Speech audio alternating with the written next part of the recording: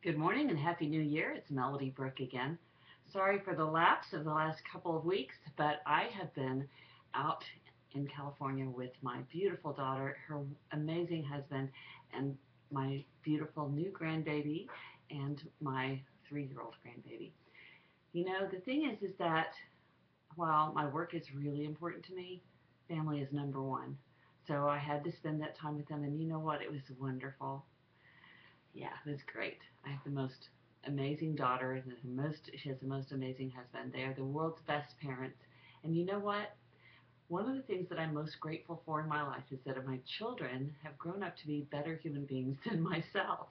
And when I see that, it just, and even when I think about it right now, it just brings tears to my eyes because they are so amazing. All of my daughters are just amazing human beings, I'm just so proud of them. And and um, and in comparison, I see them as even better human beings than myself. So I'm delighted that they're my children.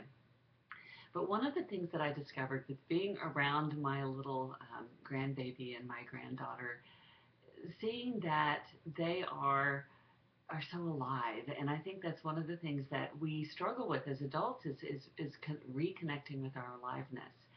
And unfortunately, the, the the best way to do that is to allow ourselves to feel our pain because that's the thing that we block. And when we block our pain and we block our anger and we block our fear, we end up blocking our aliveness. And if we block our fear and we block our pain, we're not able to feel the joy and the and the the love that it, that is within us. Because when we block one thing, we block another. You the extent to which you're able to feel your pain is the extent to which you'll be able to feel your joy.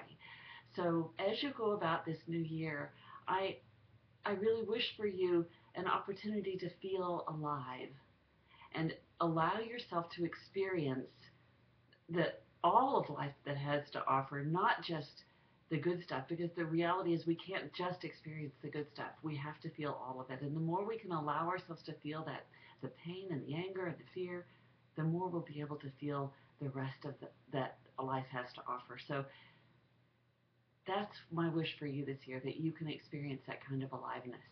So go forth this year and have a wonderful, very alive year. And I'll talk to you later. Um, if you want more about me, I'm at melodybrooke.com. And my books, um, Oh Wow, This Changes Everything, and my workbooks are available on Amazon, on Kindle, and on Audible. So talk to you later. Bye.